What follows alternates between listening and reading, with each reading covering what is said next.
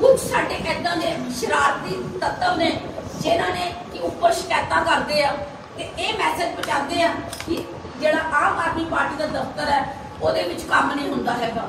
ਜਦ ਕਿ ਮੈਂ ਇਹ ਚੀਜ਼ ਦਾ ਸੰਦੇਸ਼ ਦੇਣਾ ਚਾਹੁੰਦੀ ਆ ਕਿ ਆਮ ਆਦਮੀ ਪਾਰਟੀ ਦੇ ਦਫ਼ਤਰ ਦੇ ਵਿੱਚ ਸਾਡੇ ਇੰਨੇ ਸੰਸੀਅਰ ਵਲੰਟੀਅਰਸ ਨੇ, ਇੰਨੇ ਸਿੰਸੀਅਰ ਆਗੂ ਲੀਡਰਸ ਨੇ, ਜਿਹੜੇ ਕਿ ਦਿਨ ਰਾਤ ਆਪਣਾ ਪੂਰੀ ਡਿਵੋਸ਼ਨ ਨਾਲ ਕੰਮ ਕਰ ਰਹੇ ਨੇ ਉਹਨਾਂ ਚੋਂ ਸਾਡੇ ਬਲਵਿੰਦਰ ਭੈਣ ਜੀ ਨੰਬਰ 1 ਨੇ ਅਮਰਜੀਤ ਭੈਣ ਜੀ ਨੇ ਸਾਡੇ ਸੁਖੀ ਸੁਖੀ ਭੈਣ ਜੀ ਨੇ ਸਾਡੇ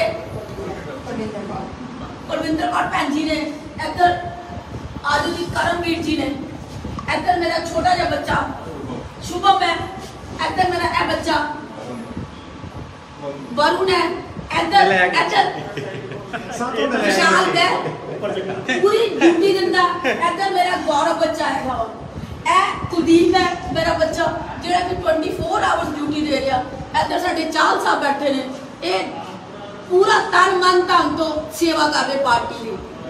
ਇਹ ਮੈਂ ਸਿਰਫ ਇੱਕ ਕਪੂਰਥਲੇ ਵਾਸੀਆਂ ਨੂੰ ਇਹ ਸੰਦੇਸ਼ ਦੇਣਾ ਚਾਹੁੰਦੀ ਹਾਂ ਕਿ ਇਹ ਦਫ਼ਤਰ ਕਪੂਰਥਲੇ ਵਾਸੀਆਂ ਵਾਸਤੇ ਮੇਰੇ ਭੈਣਾਂ ਵੀਰਾਂ ਨੇ 24 ਘੰਟੇ ਖੁੱਲਾ ਹੈਗਾ।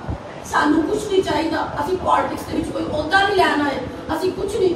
ਅਸੀਂ ਸਿਰਫ ਜਿੰਨੇ ਮੈਂਬਰ ਬੈਠੇ ਆ ਜਨਤਾ ਦੀ ਸੇਵਾ ਲਈ ਆਏ ਆ ਤਾਂ ਕਿ ਕਪੂਰਥਲੇ ਦੇ ਭੈਣਾਂ ਦੀਆਂ ਵੀਰਾਂ ਦੀਆਂ ਸਮੱਸਿਆ ਹੱਲ ਕਰੀਏ ਤੇ ਸਾਨੂੰ ਦੁਆਵਾਂ ਮਿਲਣ। ਆਮ ਆਦਮੀ ਪਾਰਟੀ! ਮਤਲਬ ਸਾਡਾ ਏਮ ਕਿਸੇ ਦੇ ਕੋਲੋਂ ਕੋਈ ਜਵਾਨੀ ਤੇਲੀ ਠੱਗੀ ਮਾਰਨ ਦਾ ਨਹੀਂ ਹੈਗਾ। ਸਾਡਾ ਇੱਕੋ ਏਮ ਹੈ ਕਿ ਲੋਕਾਂ ਦੀਆਂ ਦੁਆਵਾਂ ਮਿਲ ਬਣਨ ਤੇ ਅਸੀਂ ਲੋਕਾਂ ਦਾ ਕੰਮ ਕਰੀਏ ਅਸੀਂ ਲੋਕਾਂ ਦੇ ਕੰਮ ਆ ਸਕੀਏ ਤਾਂ ਕਿ ਆਮ ਆਦਮੀ ਪਾਰਟੀ